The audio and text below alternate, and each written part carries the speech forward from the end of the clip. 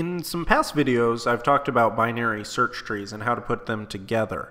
Uh, however, I took a data set that was very well structured, and so the tree was nice and balanced. And then in some of our other videos, we went over red-black trees and how to balance a tree that wasn't uh, really structured the way you'd want a red-black tree to be structured.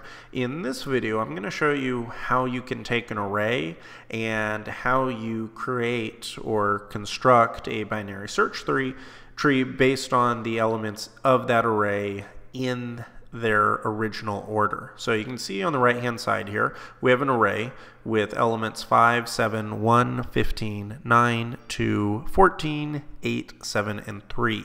And so if we're going to create a binary search tree with this array, they have to actually go in order. And so I'm going to show you how that works. So uh, the first element in our array is going to be 5. And so it's a nice easy. We create 5 and put it inside of the, uh, at the root node. The next one we're going to use is going to be 7. And because 7 is greater than 5, it'll do that comparison. And then it'll put 7 on the right-hand side right next to 5. After that, we have a 1. 1 is less than 5, so it goes to the left. And right here we have a very nice basic tree structure. We have our root node. We have 1 being the item or the node to the left, 7 to the right. So far everything is normal. Now we're going to add 15. 15 is greater than 5. It's greater than 7, so it needs to go all the way to the right. Now I'm just going to start adding some more in order in the array. So we go 5, 7, 15. Now 9 is less than 15, and so we put it there on the left. Now if you are familiar with red-black trees or some of these more self-balancing trees, you would know that this is not the way this would have been constructed. Uh, it would have uh, rebalanced itself and would have uh, swapped out the 9 right here. So the 9 would be connected to the 5. The 7 would be on the left-hand side, 15 on the right-hand side. However, this is just a regular binary search tree, so we have to treat it as such, and we have to add the elements in order. And this is a reason why people created things like red-black trees was because, uh, as you'll see here in a minute, this uh, tree is going to look pretty odd in a short period of time. So next element is 2. 2 is less than 5, so we know it goes to the left. It's greater than 1, so we'll get pulled over into the right. Then we're going to add 14. It's greater than 5, greater than 7, but less than 15, so it's going to move to the left.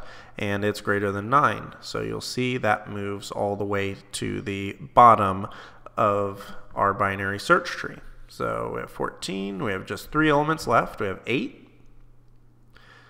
It's going to traverse the tree. We see that it's greater than 7 but less than 15 and less than 9.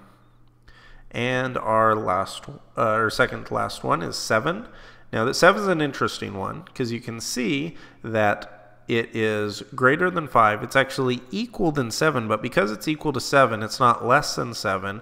It gets moved it goes to the right. It's less than 15, less than 9, less than 8, and it goes right here. So even though these two nodes are actually the same value, one is directly a descendant of the root node, and the other one is all the way here. Now it is uh, the closest node to this 7 because they are equal and so it's neat to see the way that that automatically happens but it's still pretty uh, important to see that you can have a tree that is structured like this if you take everything in order.